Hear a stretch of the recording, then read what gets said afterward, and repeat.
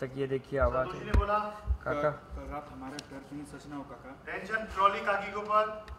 धैर्य जी सच में कोई गलत काम तो नहीं। एफआईआर मधु ने बताया कल तुम्हारा पति आके मेरे यहाँ से पेपर चुरा के गया ट्रॉली! ने पेपर चुराया? देखिए काकी काका को।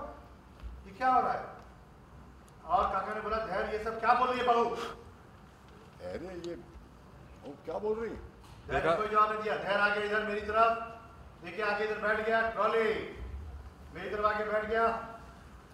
मधु ने गुंडे को बोला, गुंडे ने आके पकड़ने गया। धैर्य ने उनके ऊपर पैसा फेंका और गुंडे धैर्य के पीछे चले गए, धैर्य के सपोर्ट में। बदतमीजी की तहा होती जा रही है, धैर्य का कब्जा बढ़ता जा रहा है। मधु ने बोला, क्या बदतमीजी कर रहे धैर्य? काका ने बोला, ये प्रॉपर्टी तो तुम अपने बिज़नेस की गारंटी में ट्रांसफ़र करवाइए ना एक्शन काका? बेटे, ये प्रॉपर्टी तो तुमने बेटे ये प्रॉपर्टी देखो। सर सर यहाँ पे हाँ?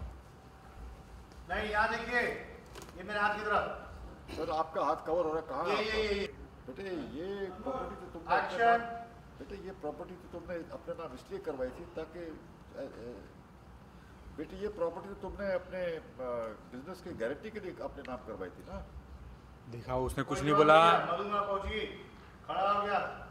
संतोष जी ने पूछा कि ये सब करके आपको क्या मिल रहा है? मधु लेफ़्ट में रहेगी ना। मधु उधर है लेफ़्ट में। हाथ धरे मैं। एक्शन सुकून मिलेगा।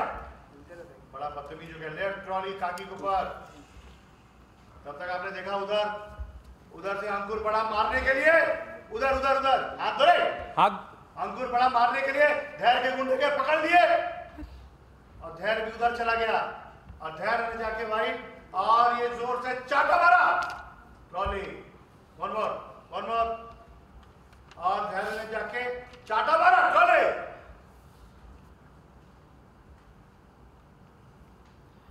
मधु ने बोला तुम क्या समझते हो तुम्हारे ऐसा करने से घर तुम्हारा हो जाएगा। तुम जो चाहोगे मैं कर लूँगी। काका काकी लुक एक्सचेंज काकी ने बोला दया संतोषी सही करे जो कुछ भी हुआ उसे जाने दो। धैर्य। बेटा संतोषी बिल्कुल ठीक कह रही है।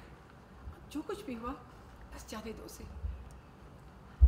काका इस तरह का व्यवहार करके तुम अपने रिश्तों को दाव पे लगा रहे थे बेटे इस तरह का व्यवहार करके तुम अपने रिश्तों को दाव पे लगा रहे हो।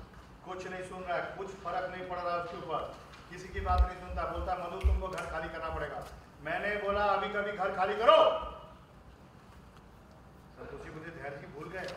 हम सब शांति से घर में रह सकते हैं। काका हाँ बेटा कोई किसी को परेशान नहीं करेगा काका। हाँ बेटे अब कोई किसी को परेशान नहीं करेगा। कुछ फ़र्क नहीं पड़ता है। धैर्य ने निकाल दिया मधु को। मधु देख सामान लेके जाने जा रही है। धैर्य ने बोला रुको बैग छोड़ के जाओ। ज्वेलरी भी निकालो। आप लोग अगर कंसर्न नहीं चाहते, साहब, बेटा बदतमीज हो गया लुक एक्सचेंज